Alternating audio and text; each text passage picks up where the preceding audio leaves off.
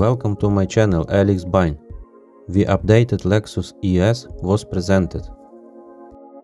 The sedan received a redesigned front end.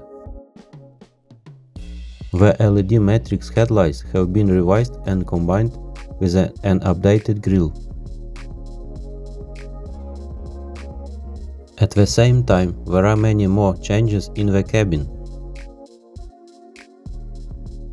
The most notable update is the new 14-inch touchscreen display with two rotary knobs integrated for climate and media control, which replaced the previous 12.3-inch screen.